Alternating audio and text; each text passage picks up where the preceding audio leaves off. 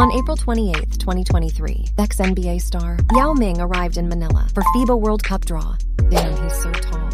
Look at those adult Filipinos. They look like a kid. When beside Yao Ming. Going back to our main topic, ever wondered what kind of food basketball legend Yao Ming loves the most? We're going to explore the favorite meal of this famous athlete and discover what really satisfies his hunger.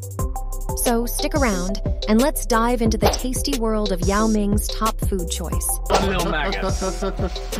Do it for your little daughter.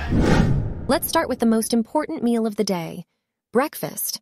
Yao Ming usually enjoys a simple meal of soft rice and bread, sometimes accompanied by green veggies. When he's traveling and can't find a Chinese restaurant, he goes for something easy like a burger or pizza.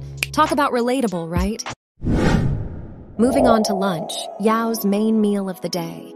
He often goes home to enjoy his mom's cooking, which consists of well balanced meals packed with green vegetables, baby ribs, and potato soup. Fun fact Yao doesn't really like baby ribs, but his mom insists they're nutritious for him. Ah, moms always know best. Dinner time.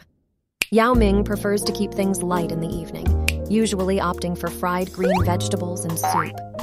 It's clear that Yao appreciates the simplicity and taste of his mom's home cooked meals, always making an effort to eat at home when he's in Houston.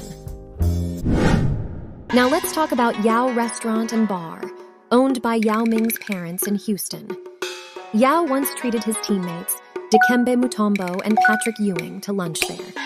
They feasted on dishes like coconut curry prawn, General Tso's chicken, fried rice with shrimp, Mongolian beef, garlic basil prawn, and Szechuan prawn. The food was a hit, and Mutombo even promised to bring his family to dine at the restaurant. So there you have it, folks. Yao Ming's love for simple, home-cooked meals and Chinese cuisine shows the importance of family and his roots in his daily life. It's no wonder he's remained grounded and successful throughout his career. If you enjoyed this video and want to see more content like this, don't forget to hit that like button and subscribe to our channel. Also, feel free to share your thoughts on Yao Ming's favorite foods in the comments below. Thanks for watching, and we'll see you in the next video.